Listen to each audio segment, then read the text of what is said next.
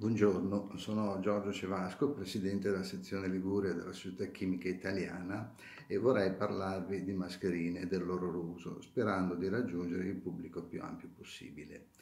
Le mascherine chirurgiche, queste, sono utilizzate in ambito sanitario per proteggere il paziente da eventuali patogeni presenti nelle vie respiratorie del personale medico proteggono il paziente quindi, ma non chi le indossa. All'inizio della pandemia erano introvabili, ma oggi l'approvvigionamento è ripreso e l'uso da parte di tutti di queste mascherine in modo corretto, eh, coprendo il naso e non calandosele sulla gola per parlare, sarebbe un validissimo contrasto alla diffusione di Covid-19. Ci sono poi altre mascherine queste, che sono eh, professionali, che sono caratterizzate da sigle FFP 1, 2 oppure 3 e sono dispositivi di protezione individuale da tempo usati dai lavoratori come marmisti, cavatori, eccetera, che operano in ambienti contaminati da polveri fini, molto pericolose, ma che vengono efficacemente filtrate da queste mascherine. Senza entrare nei dettagli tecnici, il coronavirus responsabile di Covid-19 ha dimensioni tali da essere bloccato completamente dalle FFP3 in modo completo e totale. Proteggono quindi efficacemente dal virus chi indossa queste mascherine.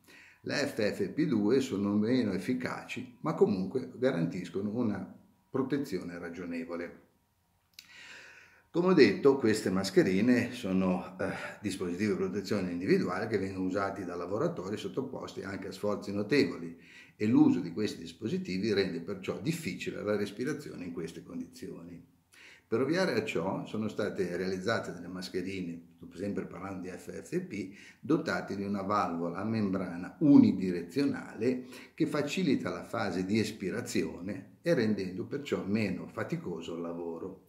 Queste valvole sono molto evidenti, si trovano sulla parte anteriore o laterale di queste mascherine, una sorta di tappo di plastica ben evidente.